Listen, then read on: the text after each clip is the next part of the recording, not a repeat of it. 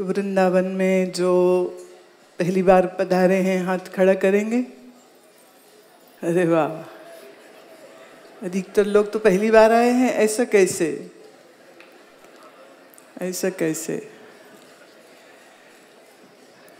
इस पावन धरा पर आज जो कार्यक्रम प्रारंभ हो रहा है, उस कार्यक्रम में प्रमुखता से भक्ति रस का आधार और विषय रहेगा। प्राय योग, वेदांत पर मैं चर्चा करती हूँ। कईयों ने ऐसा भी कहा कि जो भाव की मिठास है, मधुरता है, सरसता है वो भाव के सागर में डुबकी लगा करके अनुभव में आती है। अदरवाइज़ यू मिस दैट हमारे लिए ये श्रेष्ठ समय मैं कहती हूँ है हम सब के लिए कि कार्तिक मास में श्री वृंदावन धाम में पधारना अपने आप में बहुत बड़ा पुण्य माना जाता है। और उसी मास में आप लोग सब यहाँ आए हैं। प्रारंभ करते हैं वंदना से, मंगलाचरण से। वह रीति जो सर्व समय में एक सी ही रहती है और वह नेत्र बंद करें, रीढ़ की हड्डी सीधी करें। प्रणव की ध्वनि करेंगे तीन बार।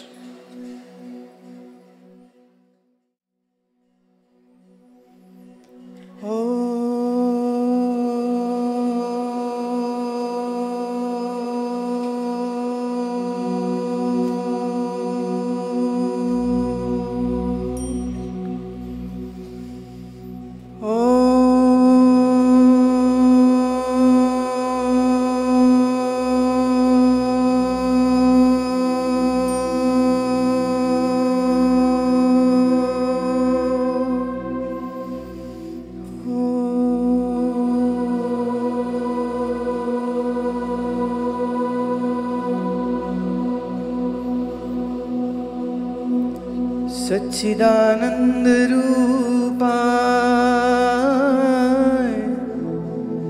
विश्वोत्पत्यादिहेत्वे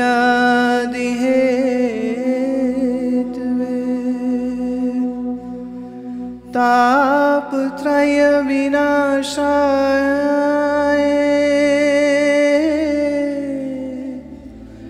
श्रीकृष्णाय वयं नमः।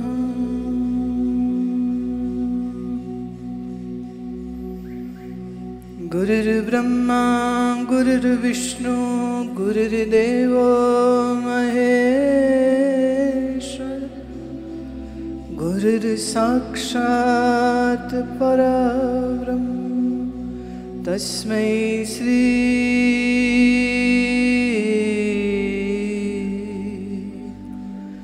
गुरुवे।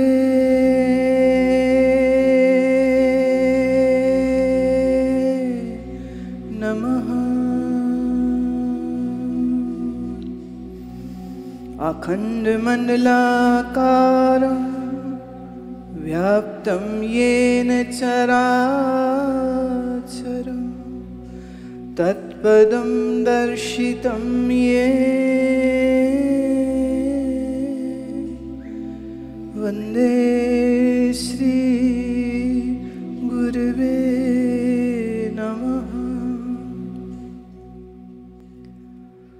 बार बार वर मांगो।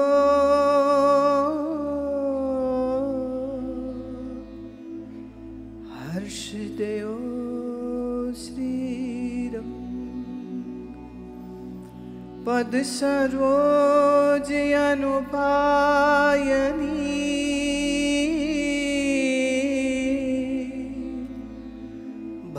भी सदा सत्संग।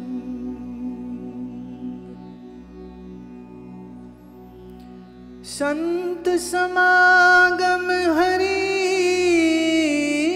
कथा।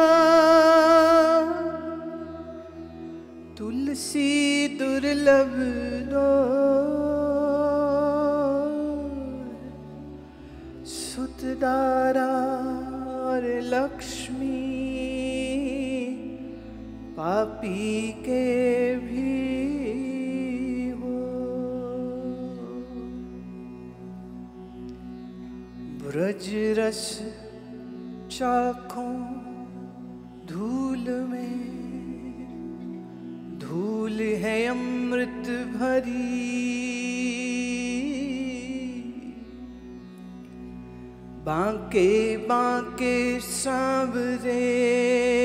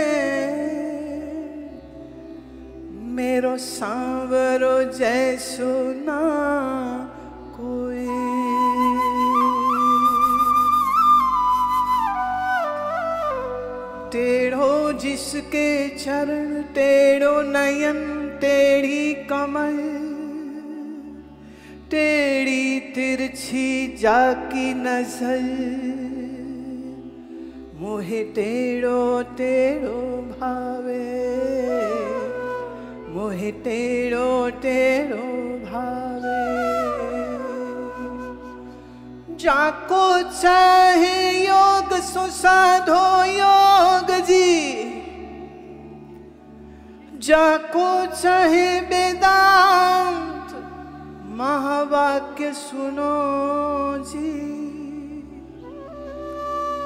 मोहे एक चितवन रस भरी नैन की तेरी जो दिल में पड़ी। हरस माधुरी मैं चाहूँ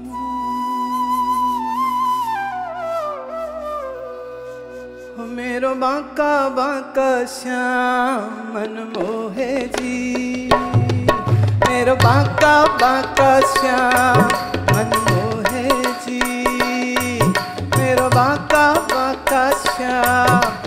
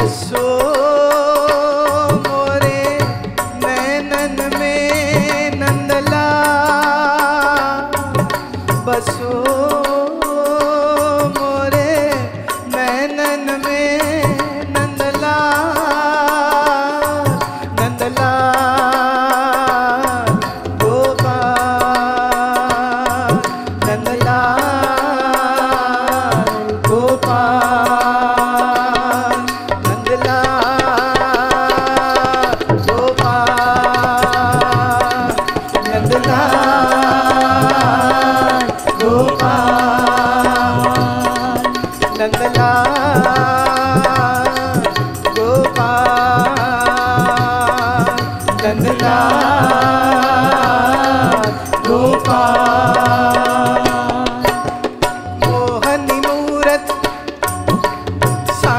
सूरत आहा।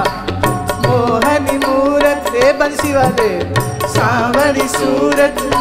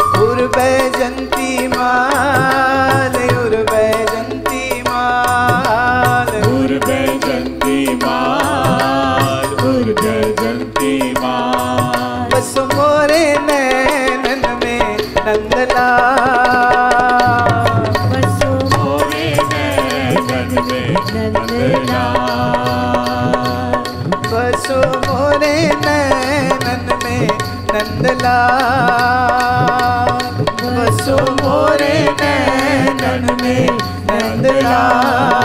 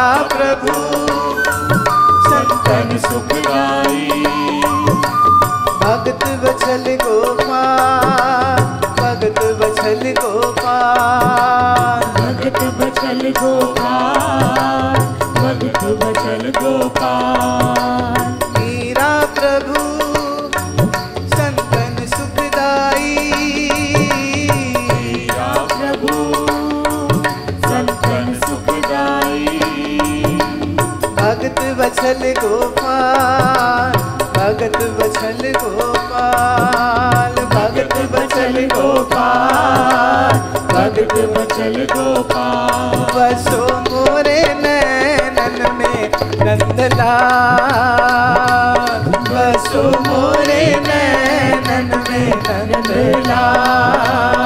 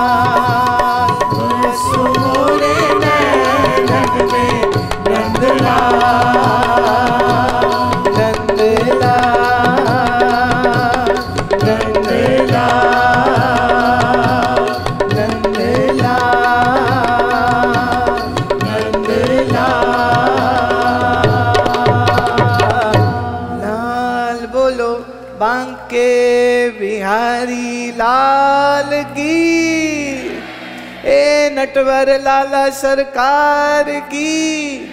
ए बांके बांके कन्हैया की। ए टेढ़ी टेढ़ी सरकार की। ए राधा रानी की। जय जय श्री राधे। जय जय श्री राधे।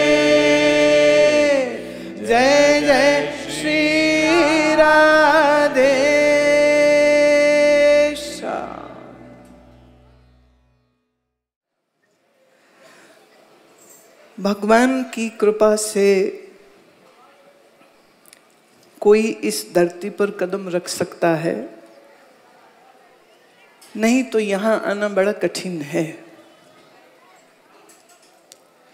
श्रीमद् भागवत पुराण की कथा प्रारंभ यहीं से होती है कि देवों में श्रेष्ठ देव, ऋषियों में श्रेष्ठ ऋषि सुत जी को अपनी जिज्ञासाओं का उत्तर लेने के लिए प्रार्थना करते हैं शौनक, और वो कहते हैं कि क्या कोई ऐसी अमर कथा है? क्या कोई ऐसी बात है जिसको श्रवण कर लेने के बाद साधक का मन अति आनंद में, अति प्रसन्नता में भाव विभोर होकर भाव समाधि को प्राप्त हो सकता है।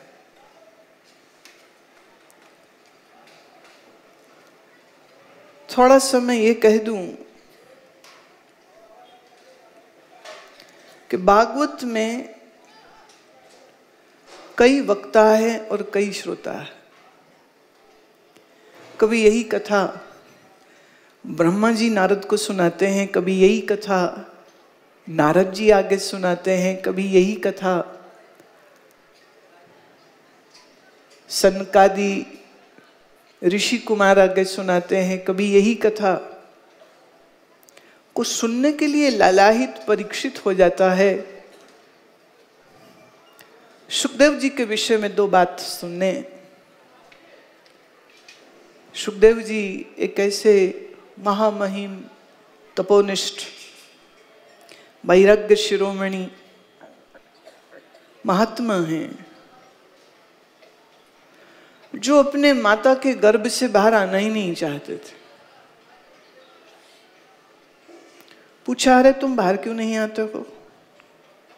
कहते, जी, बाहर आपकी माया है प्रभु, मैं नहीं आता, आपकी माया मुझे पकड़ लेगी। तुम्हारी माया किसी को छोड़ती है क्या? तो मैं तुम्हारी माया से प्रभावित नहीं होना चाहता हूँ, मैं तो गर्भ में ही ठीक हूँ। यह गर्भ मेरे लिए एक गुफा जैसी है और ऋषि माता के गर्भ में हूँ, मैं बड़ा सुरक्षित हूँ, मुझे बाहर नहीं आना। ऐसे थोड़ी होता, बाहर तो आना पड़ेगा। कहते फिर एक बात यह हो सकती है कि तुम कुछ क्षणों के लिए अपनी माया को मेरे से दूर कर दो तो फिर मैं बाहर आने का वचन दे सकता ठीक है। रोक ली माया, पधारो। अब ये वेद व्यास जी के पुत्र हैं, जो होने वाले पुत्र हैं, ये गर्भ से शर्तें लगा रहे हैं कि मैं नहीं आता बाहर। शर्त लगा रहे हैं कि मैं नहीं आता बाहर।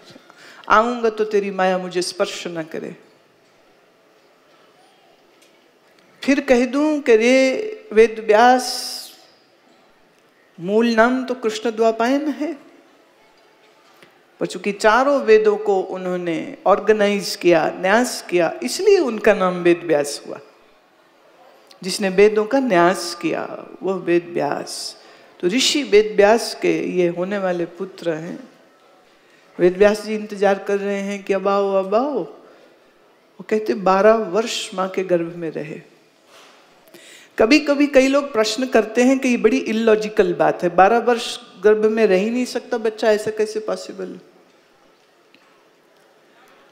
तो आपको थोड़ा आज के विज्ञान से परिचित कराऊं। आज कोई भी स्त्री अपने अंडे,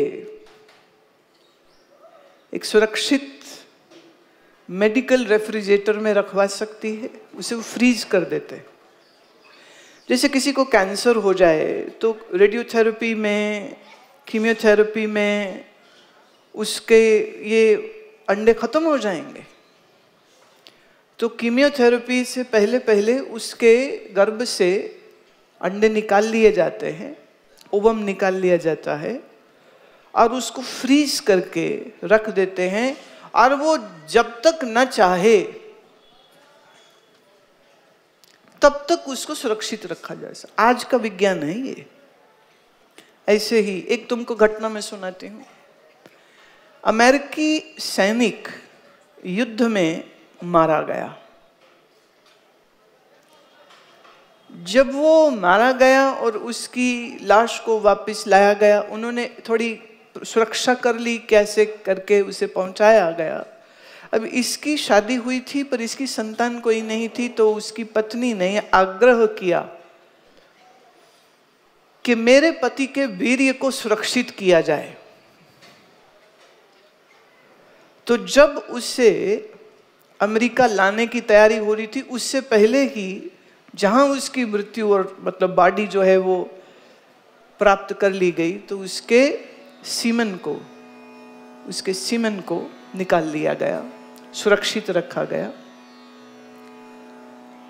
और लाश वापिस आई, उसका फ्यूनरल हुआ। फिर कोई एक वर्ष बाद जब वो मानसिक रूप से तैयार हो गई कि अब मैं माँ बनना चाहती हूँ तो उन्होंने उस फ्रीज किए हुए वीर्य को निकाला और उसको इस स्त्री के गर्भ में स्थापित किया। नौ मास बाद उसने बच्चे को जन्म दिया। अब देखिए, पिता है नहीं, पिता का तो ज़मीन में गाड़ दिया। फिर भी जन्म हुआ कि नहीं? एक साल बाद जन्म हो रहा है। हाँ? और स्त्री अपने एग्स को सुरक्षित रखवा देती है। कीमियोथेरेपी हुआ कैंसर जब ठीक हो गया, घोषित हो गया, तीन साल, चार साल, पाँच साल, छह साल, दस साल बाद भी जब वो तैयार होती है तो उसके, वो अंडे वापस उसके गर्भाशय में रखे जाते। क्या है, आज ऐसा हो रहा है या नहीं हो रहा? अब क्या है ना, तुम लोग सुबह नौ से चार, पाँच बजे तक जॉब करते हो, खाते हो, पीते हो, सो जाते हो, टीवी देखते हो, सिनेमा देखते हो, कोई पढ़ाई तो करते नहीं हो तुम। आज विज्ञान कहाँ पहुँचा है, उसकी भी कोई समझ तो है नहीं। तो आपको अजीब लगती हैं जब ये मैं बातें बोलती हूँ। पर यह बात अजीब नहीं है ऐसा साइंस के द्वारा घटित हो रहा है। मैं कहती हूँ, पिता ज़िंदा ही नहीं है, फिर भी उसी का पुत्र कैसा हो गया? सुरक्षित रखा गया वीर्य? अच्छा दूसरा, सरोगेसी। आजकल ये भी चल रहा है कि नहीं चल रहा? कोई, अब ये बात आई है तो कहती हूँ मैं, आप आईवीएफ क्लिनिक में जाइए। अगर किसी स्त्री को बच्चा नहीं हो रहा, माने उसके पति में दोष है तो वो सीमेन वीर्य बैंक में जावे, वहाँ पर फ़ाइल होती है फ़ाइल देखे, पसंद करे फैमिली हिस्ट्री सब होती है, वो पसंद करती कि इसका वीर्य मेरे लिए ठीक है। उसको उसके गर्भ में स्थापित कर देते हैं, नौ महीने में बच्चा हो जाता सरोगेसी। माँ किसी वजह से वो नहीं बन सकती क्योंकि गर्भाशय में फेलोपियन ट्यूब्स में कोई दिक्कत है? तो उसका अंडा उसके पति का वीर्य लिया और किसी तीसरी महिला के गर्भ में डाला। उसे कहते सरोगेसी। सरोगेसी। अब अगर इस तरह आज बच्चे जन्म ले रहे हैं, आप हैरान नहीं होते? तो बलराम जी को उसकी माँ देवकी के गर्भ से निकाल करके और इधर स्थापित कर दिया गया रोहिणी जी के गर्भ में तो लोगों ने कहा, ऐसे कैसे हो सकता है? संभव नहीं है ये। अच्छा आज हो तो ठीक है, तब हुआ तो गलत है। बोले, प्राणी, ये भारत वो देश है जिसने चरम शिखर तक ज्ञान और विज्ञान को छुआ है। आज नहीं, वर्षों, हज़ारों हज़ारों वर्षों पूर्व। आज की घटना नहीं। बहुत सारे कारण हुए जिससे इन विद्याओं का लोप हुआ है। बहुत सारी ऐसी चीज़ें हैं जो जो यहाँ आते रहे हैं लूटने के लिए। वो हमारी इन विद्याओं को भी लूट के ले गए थे।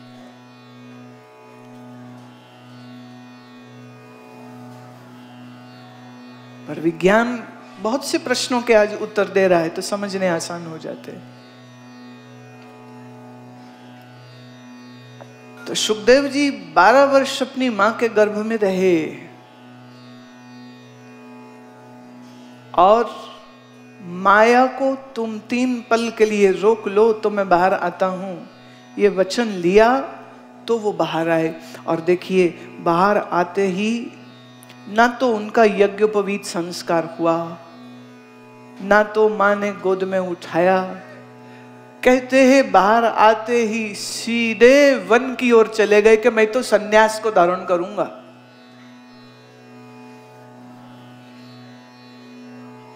न मेरा माँ, न मेरा बाप, मैं किसी संबंध में नहीं रह सकता हूँ। ऐसे सुखदेव जी। और वेद व्यास जी, हा पुत्र हा पुत्र, कहते हुए पीछे पीछे भागते हैं और सुखदेव जी आगे आगे मस्त वैरागी चले चले जा रहे पिता को पीड़ा है, पिता पुकारता है कि बेटे, कहा जा रहे हो हमें छोड़ के? कहते वो तो उत्तर नहीं दिए, पर श्रीमद भागवत कहती है कि उस वृक्ष जंगल के जो वृक्ष थे, उन वृक्षों ने उत्तर दिया सुखदेव जी की ओर से और ये कहा कि जिसने भगवान के अमृत रस को पी लिया है, वो किसका पुत्र, वो किसका परिवार का सदस्य हो सकता है? हे ऋषि, हे मुने, अपने इस वैरागी पुत्र का पीछा मत कर, ये तेरा नहीं है। ऐसे वैरागी सुखदेव। और ऐसे तपस्वी पिता पर वेद व्यास जी के हृदय में बड़ी पीड़ा बड़ी पीड़ा एको एक पुत्र होता है और वो भी छोड़ करके चला जाता है। आइए सुखदेव जी को आज हम अपने हृदय से सब मिलके प्रणाम करते हैं, नमस्कार करते हैं। ऐसे परम बीतराग परम योगी परम ज्ञानी श्री सुखदेव जी महाराज को हम प्रणाम करते हैं।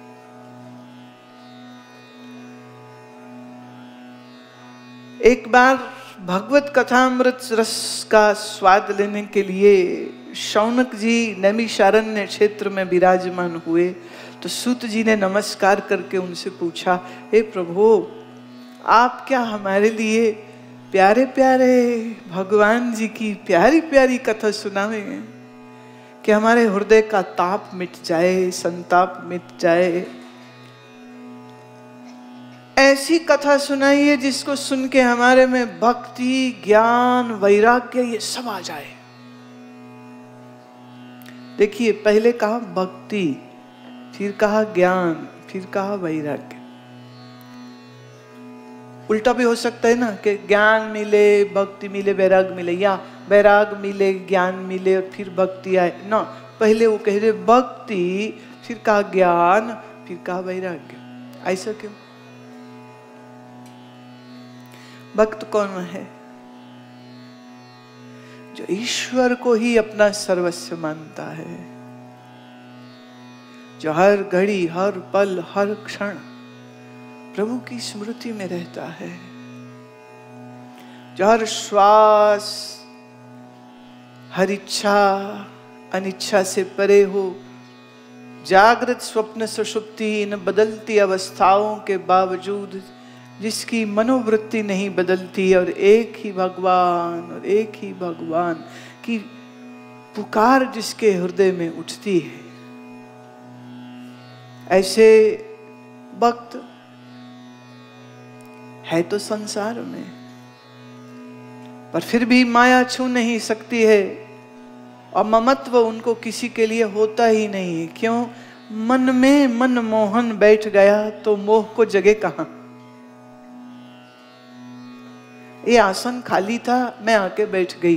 अगर मेरे से पहले कोई यहाँ बैठा होता तो मैं बैठ नहीं सकती।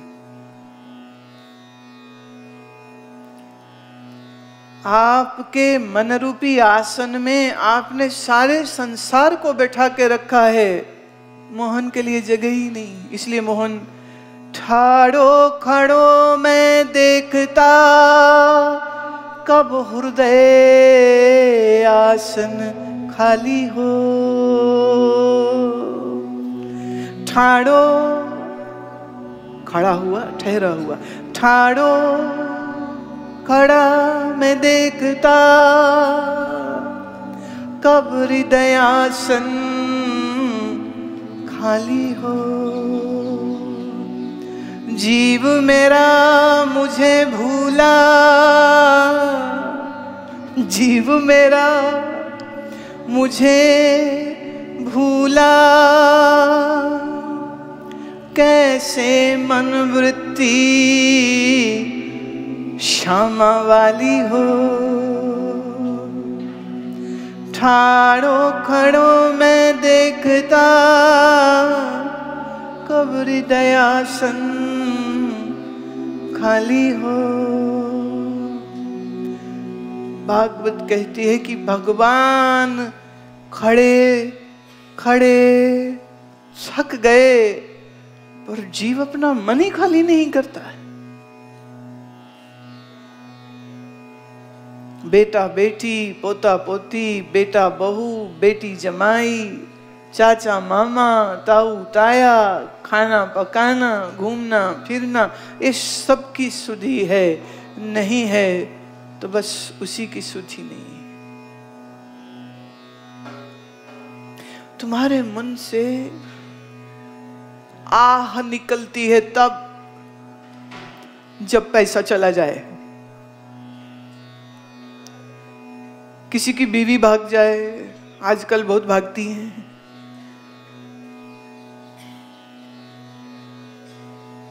किसी का पति उसे धोखा दे जाए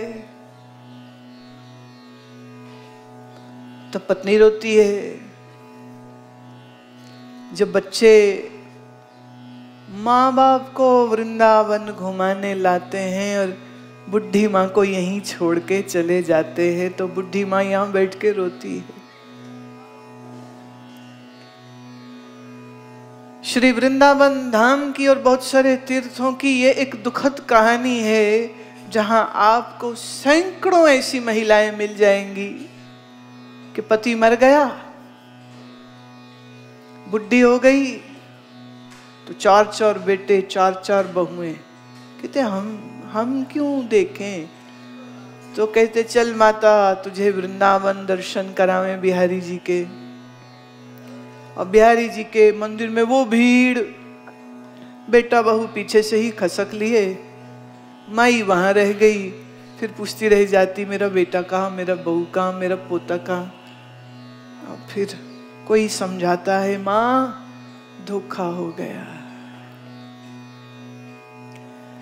पचास साल तूने जिन संसारियों को दिए, वो तुझे ठेंगा भी नहीं दिखाए और भाग गए हैं। इतना भी नहीं कहते कि अब तुझे घर नहीं रख सकते हम। तेरे बुद्धि का कोई फ़ायदे नहीं है मुझे। पैसा, रुपया, जायदाद, मकान सब छीन लेते हैं, वो यहीं बैठी। और तो भी, यहाँ रह करके भी, अपने ही पुत्रों को याद करती है, बहुओं को याद करती है। संसार ठोकर मार देता है तो भी संसार को याद करती। है श्याम सुंदर की याद तो फिर भी दिल में नहीं आती। कैसा अभागा जीव है ये। कैसा माया ने पकड़ रखा है इसको।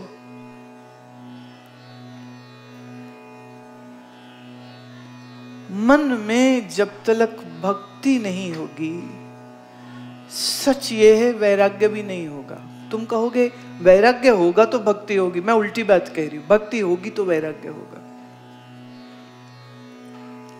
मैं अपना उदाहरण देती हूँ, छोटा सा उदाहरण है मेरा। अब हमें क्या पता ज्ञान क्या होता है और हमें क्या पता वैराग्य क्या होता है? कुछ भी नहीं। छोटे थे, बच्चे थे, घर में संत आए, संतों को सुना, उनका व्यक्तित्व उनकी मस्ती, उनका ध्यान, उनकी समाधि, उनका गाना, उनका नाचना। 1981 में मैं पहली बार वृंदावन इन्हीं महात्मा के साथ, फ़र्स्ट टाइम पहली बार तब उन्हीं के साथ यहाँ आई थी। हम लोग उनके पास बैठते, गाते। नाचते। पागल भी क्या नाचते होंगे? पागल भी थक जाते होंगे, पर हम वो पागल थे जो थकते भी नहीं थे। न तबला, न ढोलक, न कीबोर्ड, न बांसुरी, कोई वाद्य नहीं है। हाथ की करतल ध्वनि पे कीर्तन करना कीर्तन, ये हो रहा है। 81 में जब मैं यहाँ आई, तब वो मस्ती चाह रही थी। उनका यहाँ सत्संग हो रहा था। हम लोग सुनते थे सुबह से लेकर शाम तक।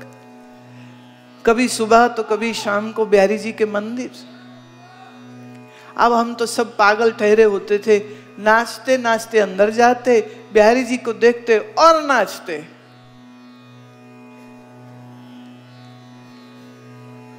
ठहरते कब? जब पूज्यपाद अनंत श्री विभूषित श्री स्वामी अखंडानंद सरस्वती जी महाराज के सामने जब बैठते, बस तभी हम लोग ठहरे होते थे। ध्यानस्तों के वेदांत सुनते। पर एक बार की वहाँ से निकले तो कीर्तन शुरू कीर्तन शुरू तो नाचना शुरू। न खाने की शुद्ध न पीने की शुद्ध न कुछ। और एक बार हम लोग सात दिन तब यहाँ रहे, पंद्रह दिन पंद्रह दिन रहे। सातवां दिन था तो महाराज जी कहते हैं,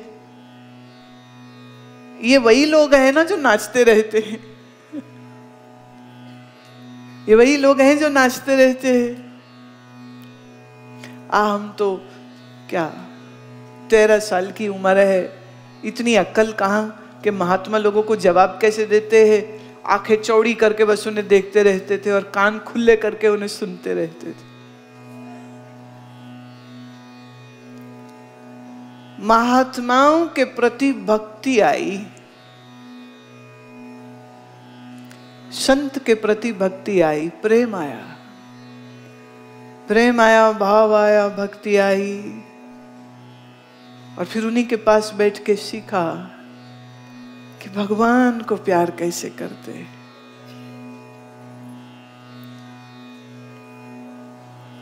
भगवान से प्रीति कैसे होनी चाहिए?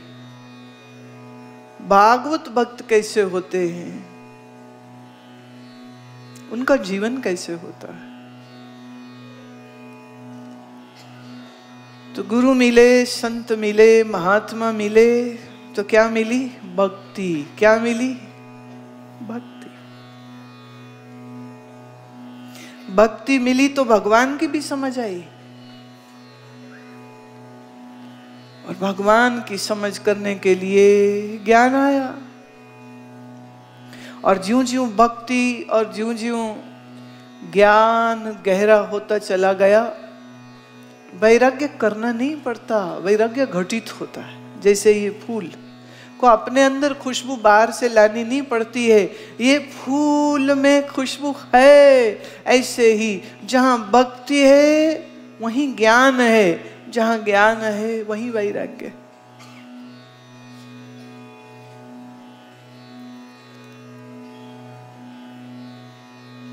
शौनक जी को जब यह प्रश्न हुआ तो शौनक जी ने कहा, अरे सूत जी, आपका ज्ञान, अज्ञान अंधकार को नष्ट करने के लिए करोड़ों सूर्यों के समान है। अब आप हमारे कानों के लिए उस रस रसायन की बात कहिए जिससे हमारे विवेक की वृद्धि हो। विवेक क्या है? सत्य क्या है? असत क्या है? What is truth what is untruth ये है विवेक। विवेक आएगा तो समझ लगेगी है, क्या नश्वर है और क्या अविनाशी है? क्या दुख रूप है, क्या आनंद स्वरूप है?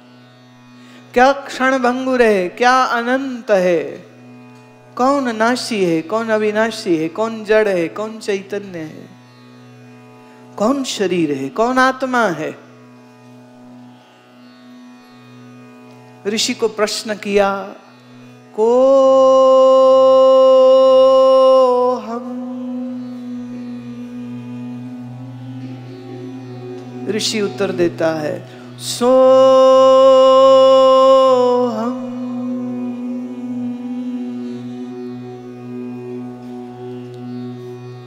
को हम कौन हूँ मैं? उत्तर आता है, सो हम।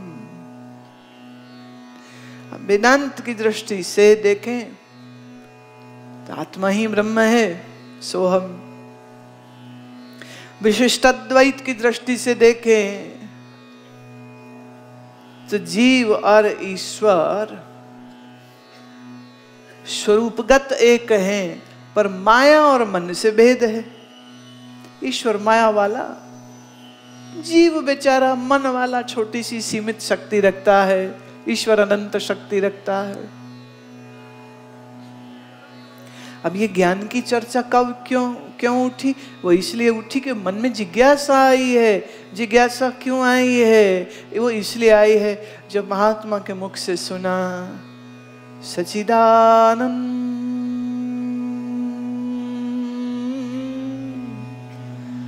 घन तू।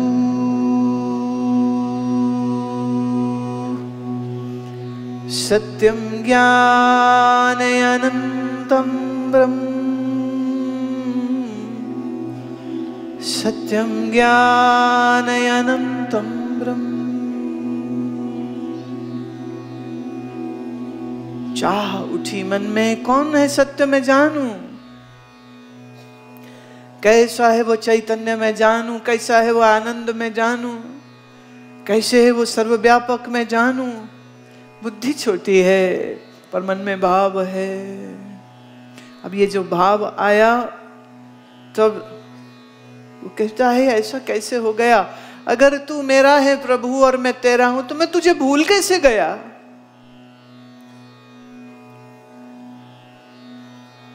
उत्तर है माया।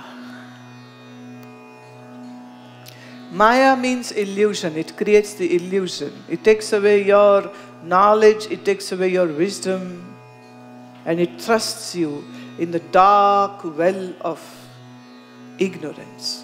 अज्ञान के इस गहरे कुएँ में धकेल देती है ये माया जीव भूल गया मैं कौन हूँ जीव भूल गया परमात्मा कौन है और फंस गया देह की ममता में परिवार की ममता में पैसे की दौड़ में संसार के सुख में याद रहे, गन्ना खाओगे तो गन्ने का रस मीठा मीठा मुँह में आएगा। नीम खाओगे तो नीम की कड़वाहट मुँह में आएगी।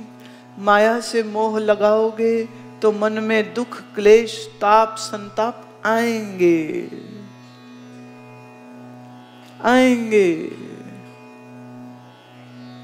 और मन में भक्ति आई भगवान की तो भगवान क्या है? आनंद स्वरूप, ज्ञान स्वरूप, सत्य स्वरूप।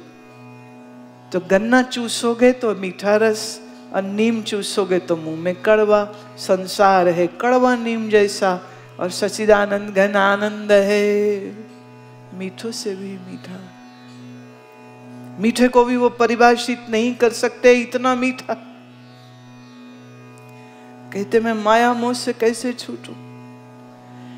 इस कलयुग में जीव स्वभाव से आसुरी आसुरी होता है। आसुरी मतलब असुर। अब आप टीवी सीरियल देखते हैं ना तो उसमें दो सींग निकले बड़े बड़े दांत निकले तो कहते ये असुर होता है। नहीं भाई साहब, जो अहंकार करता है वो असुर। अब देखो अपने मन में, क्या अहंकार करते हो? और अगर हाँ तो कौन हो तुम? अब फंसोगे तुम। अब होगी ना प्रश्नोत्तरी, अब तुम फंसोगे। देखो, जिसके मन में घमंड, कौन है वो? तुम्हारे में है? कौन हो तुम? शाबाश। हम कुछ नहीं बोलते। और शायर कहता है ना, अपनी तो ये आदत है कि हम कुछ नहीं कहते, कुछ नहीं कहते।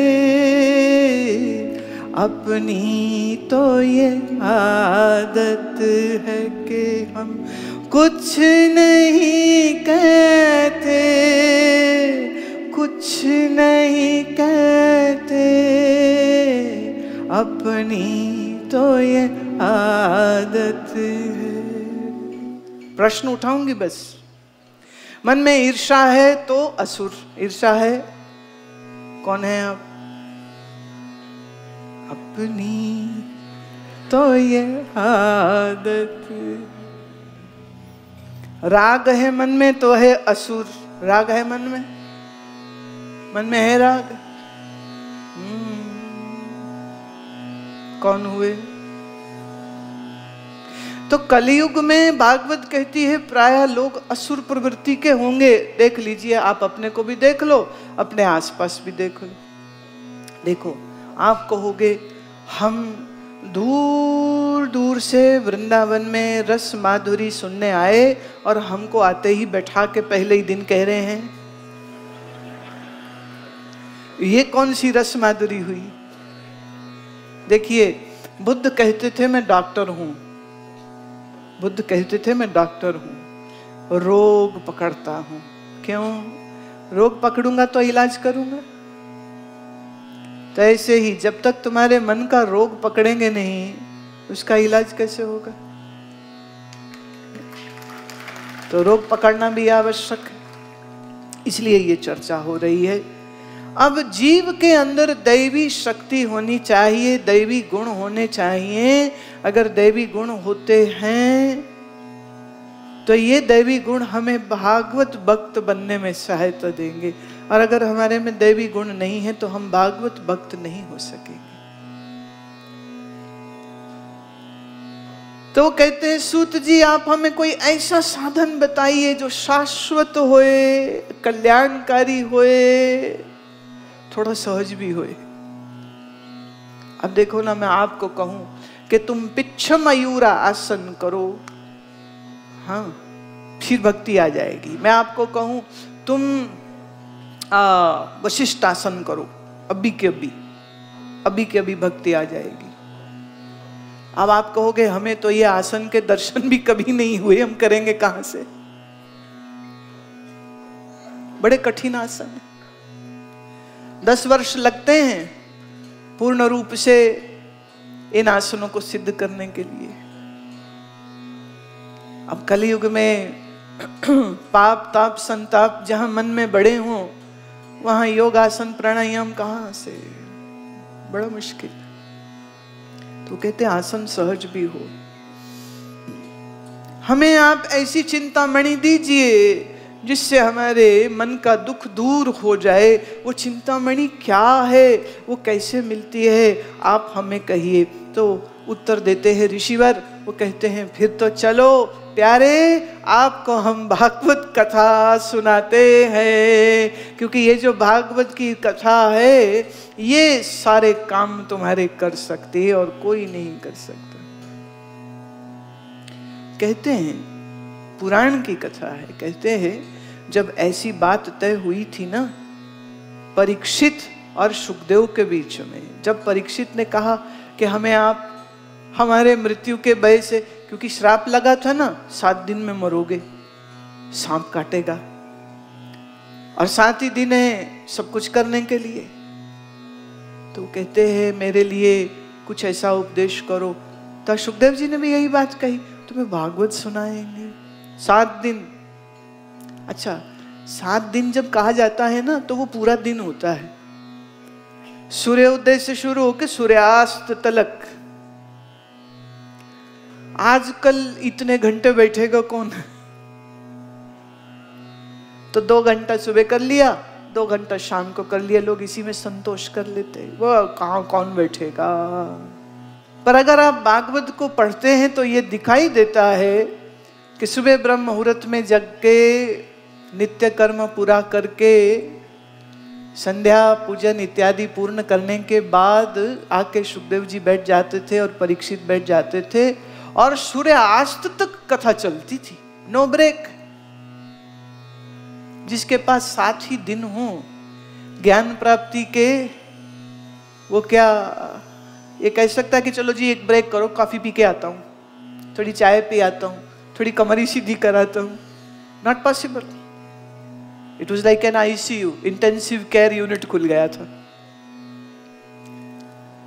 कहते, जैसे ही सुखदेव जी लगे ना कथा सुनाने तो सब देवता आ गए और वो कहते हैं, हे सुखदेव जी, ये लो हमारा अमृत।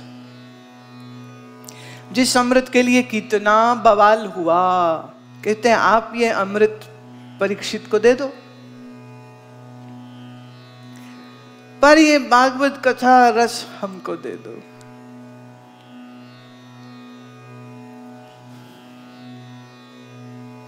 परीक्षित जी, ऐसा करते हैं?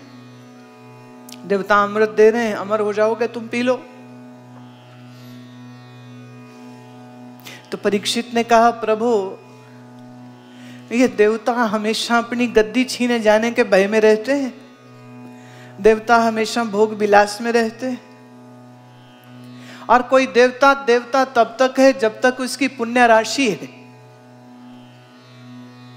पुण्य राशि खत्म हुई तो देवत्व भी छीन जाता है।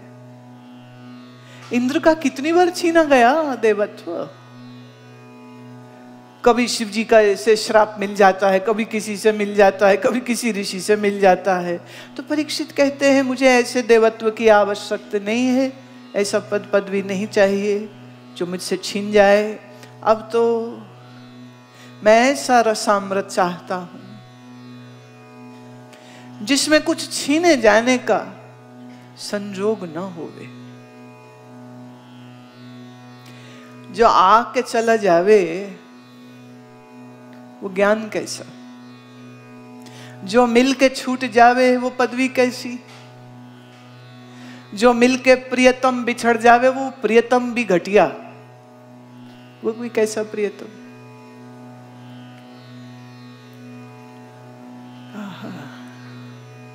परीक्षित जी ने मना कर दिया कहते कहा संसार का कांच का टुकड़ा और कहा चिंतामणि?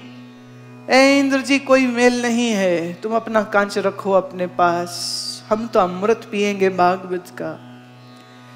ये तो वो अमृत है जिसके लिए तुम्हारा अधिकार होए, ना होए, ये सबको मिलता है। ज्ञान का अधिकार होना चाहिए। विवेक, वैराग्य, षट संपत्ति, मुमुक्षता, ये जब तक आपके पास अधिकार नहीं है, तब तक आपको ज्ञान नहीं मिल सकता। ऐसे योग के लिए अधिकार होना चाहिए। यम नियम। ब्रह्मचर्य अपरिग्रह, सत्य, अप्रमेय आदि, ये सब गुण होने चाहिए। फिर हठ योग में प्रवेश होगा, ऐसे तो होगा नहीं। चितमल विक्षेप रहित तो वे तो शर्तें हैं ज्ञान की, शर्तें हैं योग की। भक्ति में कोई शर्त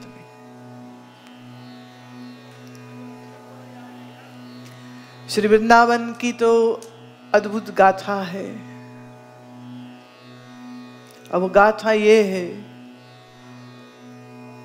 कि जो कोई देखता ना श्री कृष्ण के मुख को, भूल जाता था। सब भूल जाता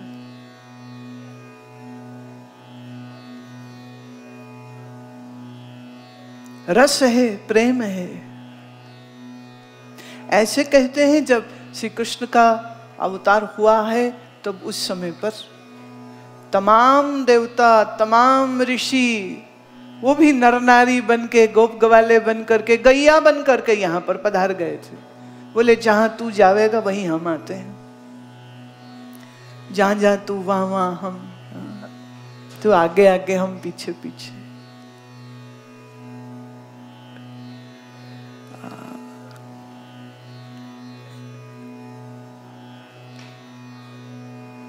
तो साधारण स्त्रियाँ नहीं है यहाँ, ऋषि हैं। गोपियाँ कोई साधारण स्त्री नहीं है, वो ऋषि हैं। ग्वाले कोई साधारण नहीं है, ऋषि हैं, मुनि हैं, महात्मा हैं। वो कहते, भाई, हमने ज्ञान बड़ा साध लिया, निर्विकल्प समाधि भी देख ली, अब लीला करेंगे तू बन श्याम, मैं तेरी राधा, तू बन श्याम, मैं बनू गोपी, तू बने श्याम, मैं तेरा सखा। अब देखिए, भक्त और भगवान में बड़ा फॉर्मल रिश्ता है। हाथ जोड़ो, सिर झुकाओ, ऐसे भोग लगाओ, ऐसे नहीं बोलो, ऐसे नहीं खड़े हो लेकिन जब भगवान तुम्हारा दोस्त हो गया तो? श्री दामा जी तो कुश्ती खेलते हैं। श्री दामा जी कृष्ण के मित्र कुश्ती खेलते हैं। यमुना जी के जल में मारी छलांग तो एक दूसरे पर पानी उलीच उलीच के फेंकते। वहाँ कोई भक्त भगवान नहीं है, सिर्फ़ प्रेम रस चल रहा। सिर्फ़ प्रेम रस चल रहा।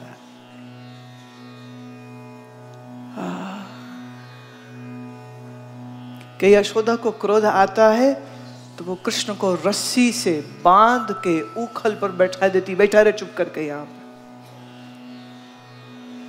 और हड़का देती है सभी सखियों के खबरदार। किसी ने इसको खोला। जिसने खोला, मैं जन्म भर उसका मुँह न देखूँगी।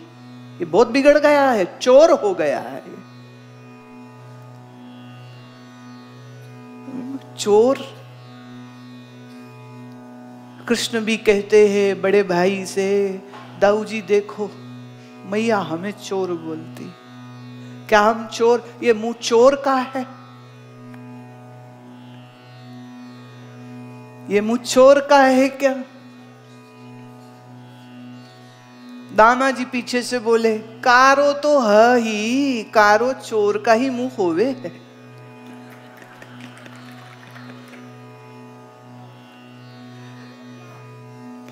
कृष्ण जी बोले, हद तो हो गई है। हमका चोर बोलते हो तुम? दाऊ जी, समझाओ मैया को मैं चोर नहीं हूँ। गोपी, रात भर पुकारी थी मुझको। आ श्यामा, आज मेरा माखन खावो रे। रात भर मैया पुकारा है मुझको। रात भर सोने नहीं दिया, इस देवी ने मुझको। पुकारती है, आ आ आ आ। और माखन भी ऐसा रखा कि नज़र मेरी जल्दी पड़ जाए उस पर। तो किसी के बुलावे पर कोई आए तो उसको चोर कहते हैं क्या? मैं चोर कैसे हो गया? पर मैया गुस्सा मती तो सुन, सुनती नहीं है कि इस तू तू बातें मत बना चुपचाप बैठा रहे। थोड़ी देर में वो मैया आ गई जिसके घर से माखन खा के आए थे तो वो आके कहती है, देख, कोई बात नहीं, अपना ही तो लल्ला है, छोड़ दे इसको, छोड़ दे। बोले, नहीं छोड़ सकते बोले, पूरे वृंदावन के लड़कों को इसने बिगाड़ा संग संग वानरों को भी इसने बिगाड़ा क्या धमा चौकड़ी करते हैं ये वानर?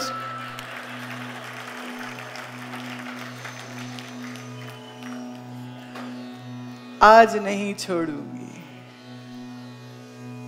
और फिर हमारे कृष्ण कन्हई अपनी नटखट आँखों में मोटे मोटे आँसू भर लिए और अपने कंठ में क्रंदन स्वर लाए और पुकारते, मैया, भूख लगी है। ऐसी आवाज़ मारी। मैया जी तो भूल गई कि इसको सजा देनी है।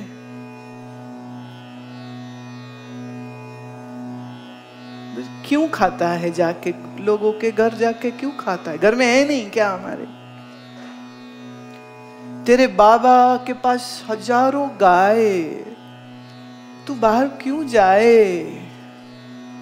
कृष्ण कहते, कोई प्यार से बुलाए तो कहना कैसे ना जाए? कहना तो जाएगा।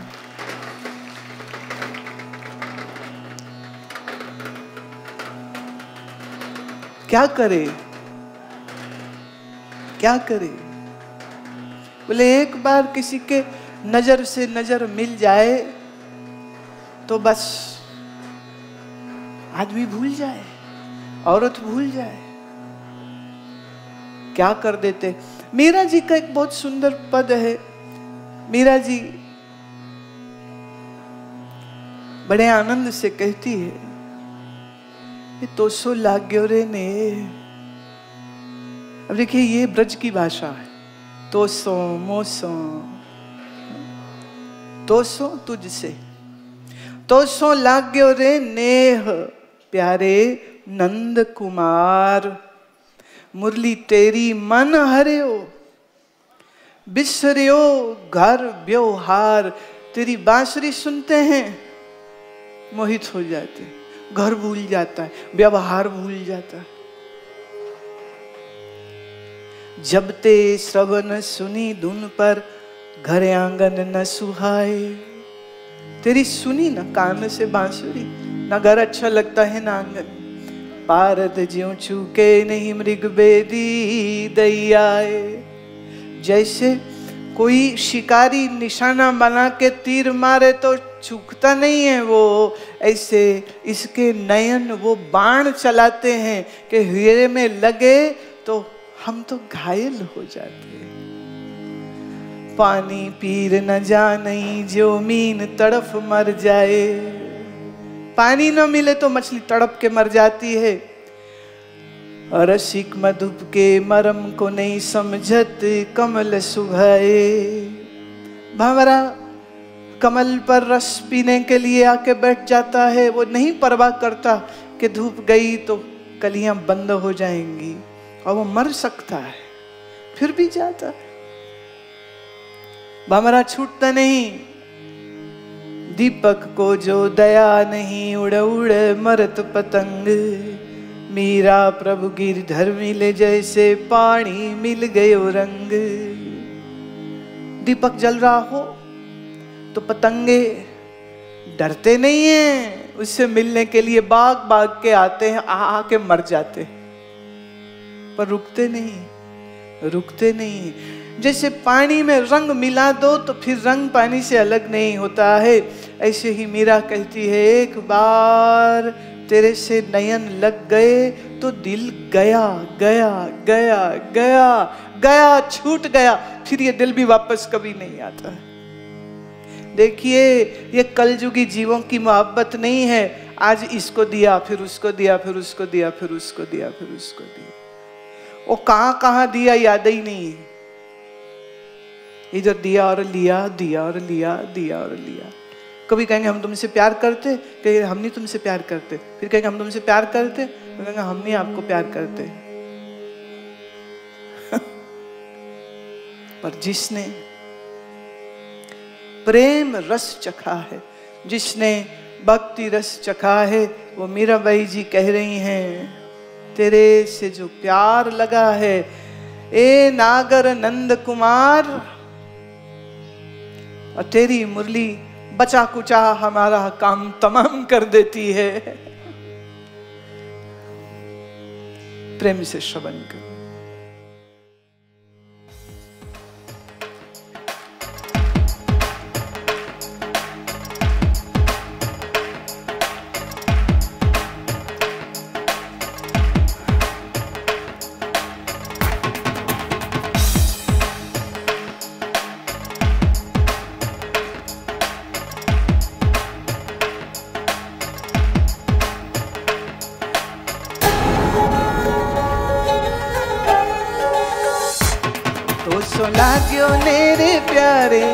नागर नंद कुमार तो सुला क्यों मेरे प्यारे।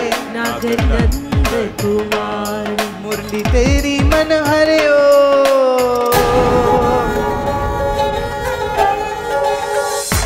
मुरली तेरी मन हरे ओ बिसरियो घर व्यवहार। तो सुला क्यों मेरे प्यारे नागर नंद कुमार। तो सुना क्यों मेरे प्यारे।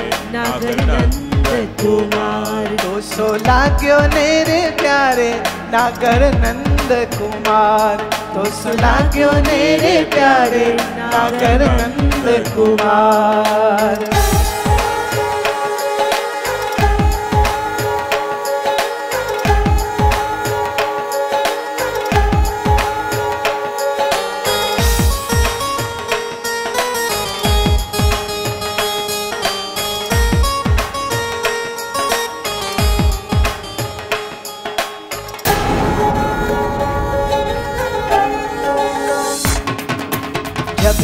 सवन दुनी पर घर आंगणे न सुहाए।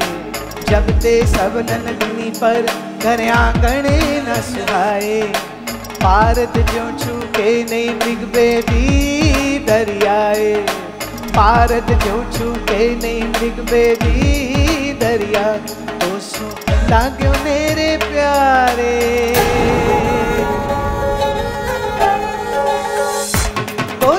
लाग्यो मेरे प्यारे नागर नंद कुमार।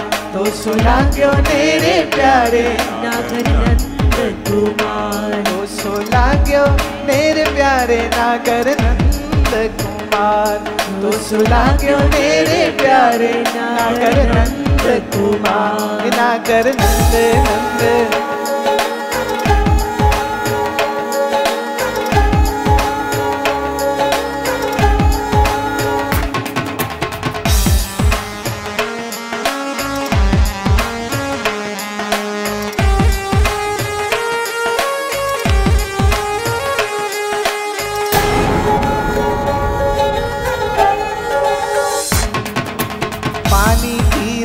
तीर न जाने जो तड़प मर जाए। पानी तीर न जाने, जो मीन तड़प मर जाए। रसिक मधुप के मर्म को नहीं समझत कमल सुहाए। रसिक मधु के मर्म को नहीं समझत कमल सुभाए तो सो लाग्यो तेरे प्यारे।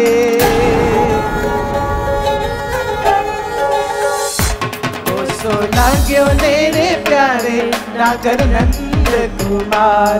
तो सुलाग्यो तेरे प्यारे, नागर नंद कुमार। तो सो लाग्यो तेरे प्यारे, नागर नंद कुमार। जो सुलाग्यो तेरे प्यारे, नागर नंद कुमार।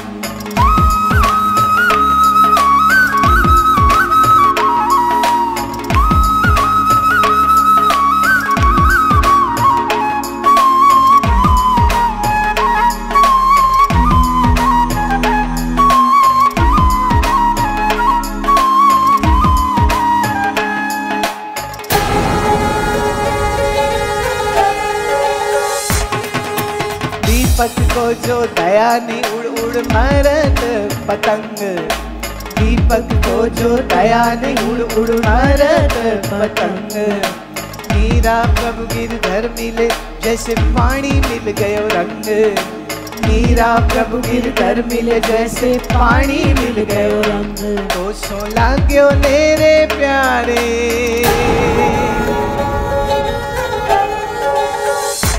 तो सो लाग्यो मेरे प्यारे नागर नंद कुमार। सुना क्यों मेरे प्यारे नागर नंद कुमार।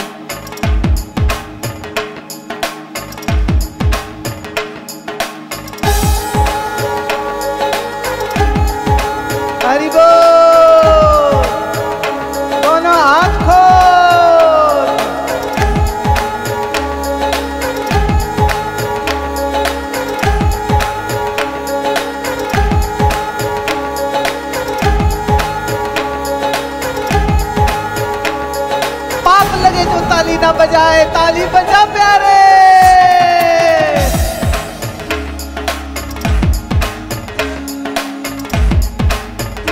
तो सो लाग्यो मेरे प्यारे नागर नंद कुमार। सुलाग्यो तेरे प्यारे नागर नंद कुमार। सो लाग्यो मेरे प्यारे नागर नंद कुमार। जो सुलाग्यो तेरे प्यारे नागर नंद कुमार मुरली तेरी मन हरियो बिसरियो घर व्यवहार। मुरली तेरी मन हरियो बिसरियो कर व्यवहार। मुरली तेरी मन हरियो बिसरियो घर व्यवहार। मुरली तेरी मन हरियो बिसरियो कर व्यवहार। सो।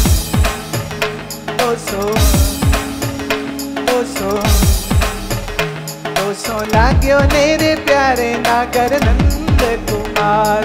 सुलाग्यो तेरे प्यारे नागर नंद कुमार। सो लाग्यो मेरे प्यारे नागर नंद कुमार। सुलाग्यो तेरे प्यारे नागर नंद कुमार। मुरली तेरी मन हरियो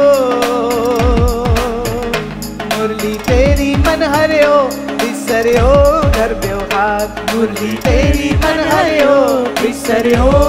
व्यवहार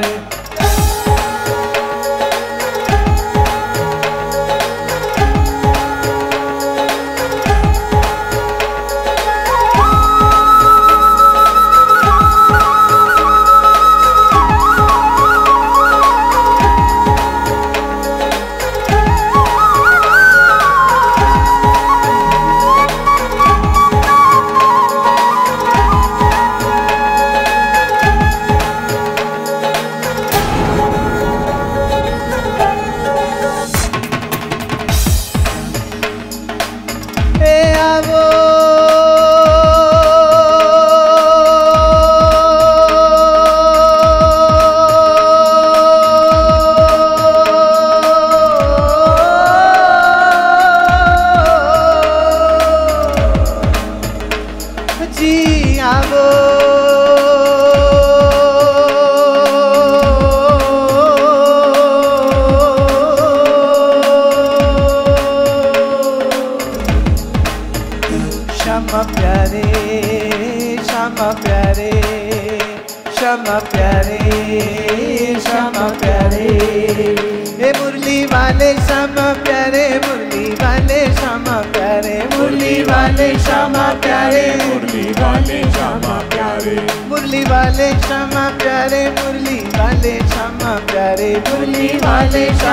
प्यारे मुरली वाले श्यामा प्यारे। ओ सो लाग्यो मेरे प्यारे।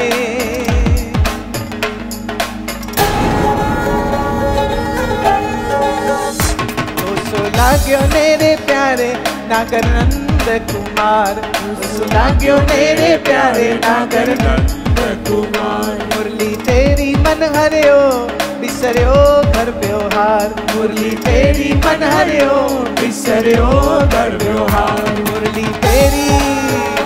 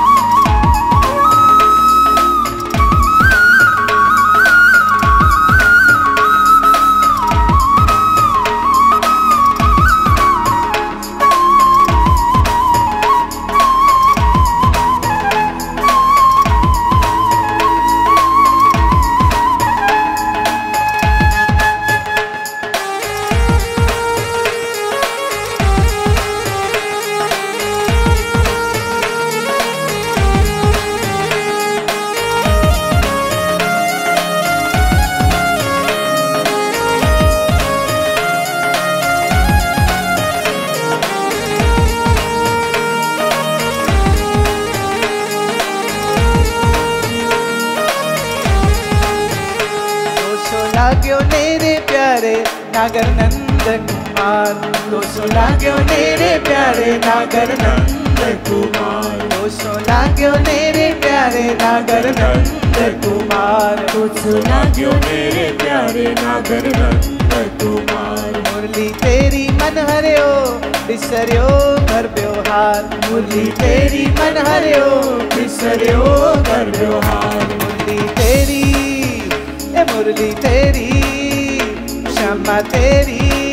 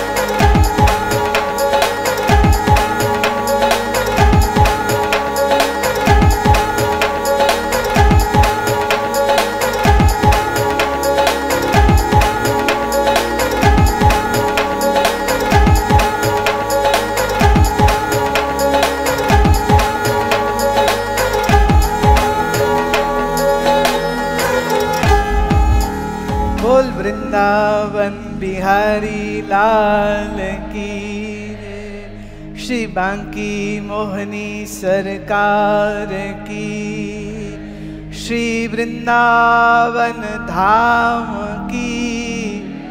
जय जय श्री राधे। जय जय श्री राधे।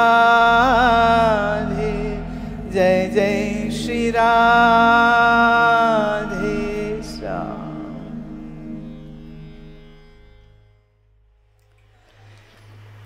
ये जो कथा हमने छेड़ी, आज वो कथा पूरी नहीं हुई है, लेकिन इसका आगे का क्या क्रम रहा? शौनक जी क्या श्रवण करते हैं? सुखदेव जी क्या सुनाते हैं? और नारद जी क्या सुनाते हैं? इन तीन चरित्रों को हमने उठाया है आने वाले चार दिन में। आज चौथा तो निकल गया तो तीन। तो कल रखेंगे नारद जी की चर्चा। और ऐसे फिर आगे जो दूसरे दूसरे वक्ता रहे हैं तो भागवत से आपका परिचय भी होगा। और भागवत की इन मीठी, मधुर कथाओं से और एक अति सुंदर जो वृतांत हैं, उन वृतांतों को, उन हृदय को स्पर्श कर देने वाले शब्दों को श्रवण करिए। बस यही प्रार्थना करो तुम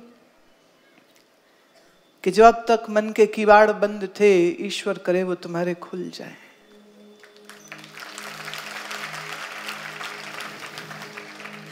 जो सीने में धड़कता दिल नहीं तो तेरा जीना क्या है? जो सीने में धड़कता दिल नहीं तो जीना क्या है? दिल तो धड़के, मोहब्बत नहीं तो जीना क्या है? दिल में मोहब्बत तो हो, पर यार से दूर हो तो फिर मोहब्बत भी क्या है? मोहब्बत भी हो, यार भी हो, नैना चार ना हो तो जीने का मज़ा क्या है?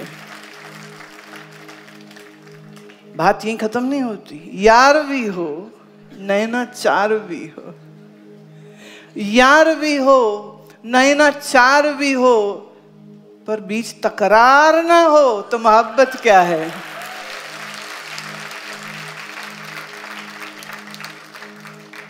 तकरार भी हो, कुछ पुकार भी हो, कुछ ललकार भी हो, तकरार भी हो, कुछ पुकार भी हो, कुछ ललकार भी हो। तो मोहब्बत का समा है, कुछ तकरार करते, कुछ प्यार करते, कुछ लाड करते, कुछ इनकार करते कुछ ऐसी सोबत हो गई। मैं तू हो गई, तू मैं हो गई। कुछ ऐसी सोबत हो गई, तू मैं हो गई, मैं तू हो गई। अब मुझे तुझसे प्यार है कि तुझे मुझसे प्यार है? अब तुझे मुझसे प्यार है कि मुझे तुझसे प्यार है। ये बात बार बार है, पर कहना बड़ा दुश्वार है। बस इतना ही कह देते हैं, प्यार है प्यार है प्यार है। बस इतना ही कहते हैं कि प्यार है प्यार है प्यार है। पुकारते रहो। इस धड़कते दिल में कुछ मोहब्बत भी आ जाए। इस मोहब्बत की कुछ बाकी अदा भी तुझ में आ जाए। वो इठलाना, वो रुलाना, वो पुकारना, वो लड़ना, वो मनाना, वो रूठना, ये सब भक्ति रस में संभव है। ज्ञान में संभव नहीं है, योग में संभव नहीं है सिर्फ़ भक्ति रस में संभव। पर ये भक्ति रसामृत उस हृदय में आता है जो हृदय खाली हो। खाली हो। तो खाली करो। करो खाली। छोटी सी एक बात कह दूँ, जब हम वृंदावन आए पहली बार तो हमारे महात्मा ने ये बात कही कि यहाँ की धूली में भी एक जादू है। तो ये धूली अपने मस्तक पे लगानी चाहिए। ये धूली लग जाए तो रूखे सूखे दिल में बागे बहार आ जाती है। तो आज जहाँ से यात्रा शुरू हुई ना शोभा यात्रा, ठीक लगभग इसके सामने उस समय पर कुछ था नहीं। खाली था, एकदम परिक्रमा मार्ग में कुछ नहीं था और इस परिक्रमा मार्ग से सड़क नहीं थी, रेत थी, बालू थी, उसी बालू में ले ले करके बालू हम लोग अपने सिर पे लगाते रहे और कीर्तन हो गया शुरू और बालू सिर में लगा रहे हैं, माथे लगा रहे हैं। कब कीर्तन में पगलाए गए, सब उठा उठा के रेत पूरी अपने सिर में डाल रहे थे। प्रेम आ जाए, प्रेम आ जाए, भक्ति आ जाए, भक्ति आ जाए, कब आएगी? जीवन खत्म हो जाएगा। करोड़ों जन्म ईश्वर के बगैर बिता दिए। क्या ये जन्म भी ऐसे व्यर्थ हो जाएगा? तो रोते, कभी हँसते, कभी गाते, कभी नाचते, पर उठा उठा के वृंदावन की ये धूली अपने माथे पर रगड़ते थे। क्या गो धूली? धूल में मिला मेरे घमंड और अहंकार को, और जगा दे मेरे अंदर उस प्यार को, जिस प्यार से भक्ति मिलती है, जिस भक्ति में भक्ति स्वरूपा ही भगवान मिल जाते हैं। भगवान ढूँढने नहीं पड़ते भक्त को, क्योंकि भगवान तो भक्त के हृदय में विराजते तो जो हृदय में विराज रहा है, उसको ढूँढने कहीं बाहर थोड़ी जाया जाता है। और ये बिल्कुल बात सच है। इस तीर्थ पर ऐसी पुकार कोई सच्चे दिल से करेगा तो निश्चित उसका मन पाप, ताप, संताप से खाली होकर प्रेम से भर सकता है। ये संभव है। यही कारण है कि तीर्थों में प्रवास करना श्रेष्ठ होता है और यही वजह है कि 2017 में पहले श्री बद्रीनाथ धाम में सत्संग और अब श्री वृंदावन धाम में सत्संग इसीलिए रखा है।